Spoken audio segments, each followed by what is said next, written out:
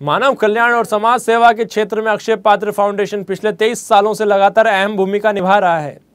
अपने इसी निस्वार्थ सेवा भाव के लिए ये फाउंडेशन देश ही नहीं, बल्कि विदेशों में भी जानी जाती है।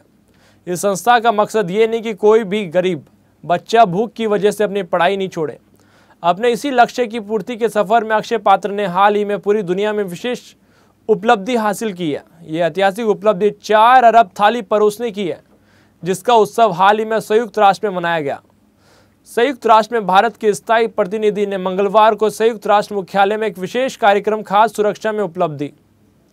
सतत विकास लक्ष्यों की दिशा में भारत की प्रगति का आयोजन किया।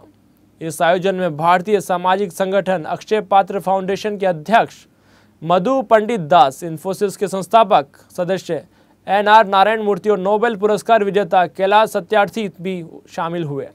इस खास मौके पर भारत के प्रधानमंत्री श्री नरेंद्र मोदी ने अक्षय पात्र फाउंडेशन के लिए बधाई संदेश भेजा।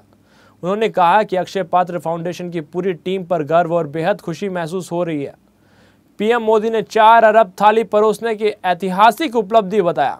हरे कृष्ण मूवमेंट जयपुर के अध्यक्ष श्री अमितासन दास ने इस उपलब्धि पर आभार प्रकट करते हुए कहा कि हमें गर्व है कि यह संस्था अपने मकसद में कायम हुई है। अक्षय पात्र फाउंडेशन का मिशन है कि देश में कोई भी गरीब बच्चा भूख की वजह से अपनी पढ़ाई नहीं छोड़े और इसी लक्ष्य में अगर सबका साथ हमें इसी तरह मिलता रहे तो इस क्षेत्र में संस्थान और नए कीर्तिमान स्थापित करेगी।